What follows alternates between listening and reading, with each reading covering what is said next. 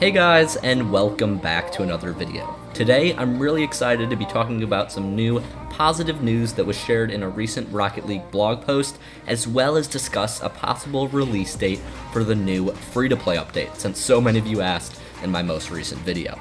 But before we get started, I wanted to let you guys know about a new YouTube record I just set, which is that currently 98% of you watching are not subscribed to the channel. So if you like this video, please consider subscribing. It's free and you can unsubscribe whenever you want.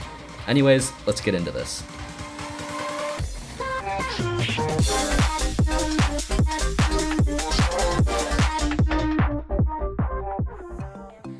Okay guys, so to start things off, I first want to discuss the most pressing question on many of your minds, which is when is Rocket League going free to play? Now I want to make it clear that Rocket League has not yet revealed an exact free to play release date, but I strongly believe it will go live by September 1st, and here's why. For those of you who don't know, on July 2nd of this year, Rocket League released a blog post stating that they would be extending Season 14 of competitive play. Specifically, in this blog post, they said they were hard at work on a major update for Rocket League coming later this summer. And they also said that they were currently extending the competitive season and Rocket Pass 6 to the live date of that update which we now know is just the free to play update. So, seeing as Season 14 is currently the longest Rocket League season ever, and that September 1st would mark the end of what would most people consider to be the summer months, I'd imagine they'd have to release the new update by that date. If they didn't, they'd have kept the community waiting for over two months, and while it is possible they'd do that, I think it's unlikely. Now, another reason I think Rocket League will more than likely go free to play by September is because of the new update details they gave us in their recent blog post. If you haven't read this post yet, I'll have it linked in the description, but the main topic is how Epic Games is going to handle integrating all the different platforms under their new system. Now, this information is really positive because it addresses one of my big concerns that I discussed in my video about why I was worried about Rocket League free to play, but I'll talk more on that later. When it comes to release date, this blog post gives me hope that free to play will go live by September because it's basically an instruction manual on how to link your new free to play account once the update goes live. And if you can see where I'm going, I doubt Rocket League would release a new guide on how to use the new update if that update wasn't coming soon. Like I said before, this is all speculation, but I am confident that more than likely Rocket League will be live by September 1st. Now, technically, summer doesn't end until September 22nd, so it is possible that Epic Games could make us wait until then, but I can't imagine they'd make us wait that long after announcing this update so long ago. Anyways, now that I've touched on details about release date, I also wanted to talk about the new blog post and why it makes me optimistic about the free to play update.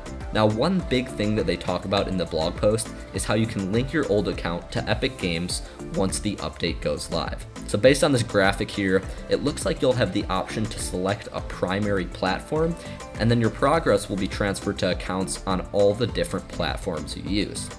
Now this is good for a few reasons. For one, it means that Rocket League will most likely stay accessible on Steam. This means that one of my big worries, which was that people would be forced to use the Epic Games Launcher, shouldn't come true. These new details also mean we should still have access to custom maps in the Steam Workshop, and we should still keep third-party support to keep mods like BakkesMod running smoothly. Lastly, this new Epic Games account system looks to be good because it should protect against smurfing at least a little bit. I say this because when Rocket League goes free to play, people are going to be incentivized to combine all their account progress into one primary account on all of their platforms, instead of running, say, multiple accounts with different ranks. Now, even though this is something small and it's not perfect, and Epic Games will probably need to put more protections in place to deal with Smurfs, this is still a good step in the right direction. Overall, this blog post makes me much more optimistic about Rocket League free to play than I was before. But that's not to say that things still can't go wrong. I could still see major server issues and smurfing problems surfacing after the update. But all in all, this new system looks to be good news for the current Rocket League community. And who knows, maybe Epic Games can bring over some of the good aspects from their games, like including more mainstream personalities in the Rocket League community and running events that get a lot of attention to the game, like they've done with Fortnite. I just hope they can do all that without having to barrage us with their cosmetics or notifications to buy the Rocket Pass. Like I said though, this is definitely a step in the right direction, and it gives me hope for how Epic Games is going to run Rocket League post free to play. But before the video ends, if you're new to the channel and don't know about the monthly giveaway I do, then this is the part of the video where I'll talk about that. Basically, at the end of every month, I pick a random commenter on my videos to be coached to GC by me. What this means is that if your comment gets picked, I'll coach you until you hit Grand Champion rank in Rocket League. So, if you want to enter for a chance to win, all you have to do is leave a comment below with your rank in Rocket League. Anyways though guys, if you did find this video interesting, all I ask is that you leave a like and subscribe if you haven't already.